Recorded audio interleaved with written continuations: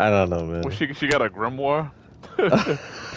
Yeah. This is that Black Clover crossover. Oh, What's going speaking of that, do you like spoilers, or did you are you reading the manga to catch up with that, or what? Oh yeah, I'm, I'm caught up on the manga.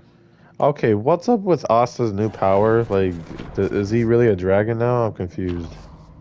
Whoa, whoa, hold on. What? Where'd you I, get th- that I, from? I thought you said you were caught up. That's not. but That's not what that his power is right now. Uh, okay, okay. So I'm following this sub uh, su- uh YouTube person because. Uh, so the the YouTuber is called Anime's Balls Deep. I don't know if you follow them. Yo, there's nothing. There's Anime nothing on deep. earth that would have prepared me for that name at all. Anime balls deep. Anime Balls Deep. Your cousin, your cousin is following and watching this person, and this is where he has his intel from. Ain't no way someone from my close relatives is watching from this man. He said, "Hold on, Brandon. I just I just got some new intel from Balls Deep." balls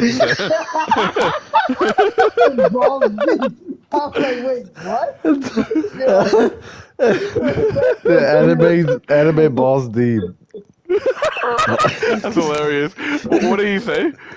Uh, he was talking about how Asta's a celestial dragon now, or some shit. Yeah, I have no idea where he drew that conclusion from. I'm curious. I gotta watch that video.